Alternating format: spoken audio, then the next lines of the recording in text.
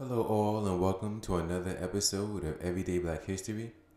Now, today on Everyday Black History, we're going to be highlighting a man, a brother by the name of Dr. Mark Dean.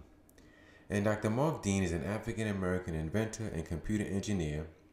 He was part of the team that developed the ISA bus, which allows for multiple uh, modems and routers to be connected to the computer.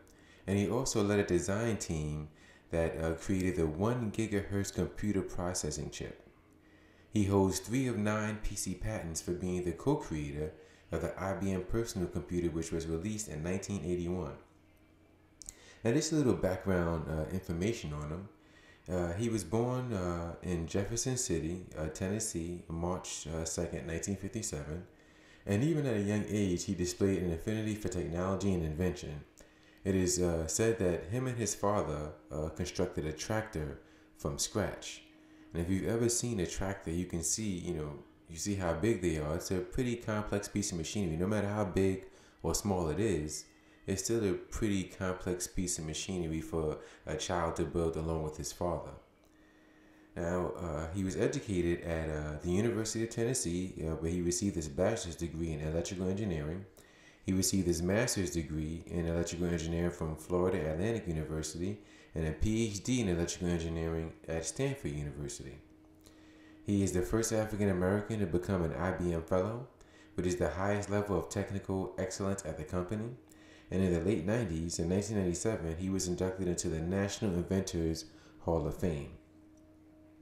Uh, he is uh, the currently he's the interim dean at the Tickle College of Engineering and is the John Fisher Distinguished uh, Professor in the Department of Electrical Engineering and Computer Science at the University of Tennessee.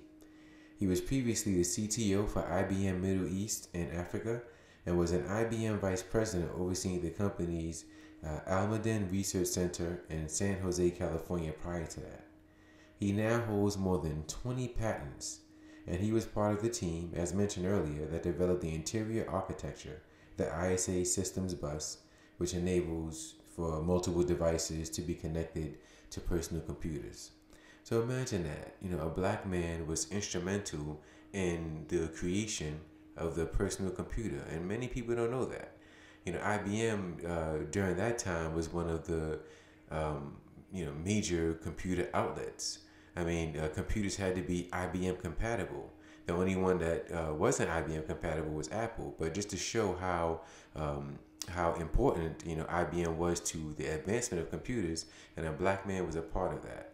So we wanted to highlight his uh, contribution to not only computers and how it changed our way of life today, but it's important that it that we highlight it for uh, Black history and for its contributions to Black history, because uh, who knew that a black man was, was partially responsible for this? He played a part in helping this to go forward. So Dr. Mark Dean we thank you for your contribution um, to Black history and Black culture, and we salute you for it.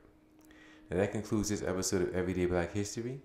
Tune in as we'll be talking more people and institutions, Black men and women, who contributed to uh, Black history and Black culture. So stay tuned.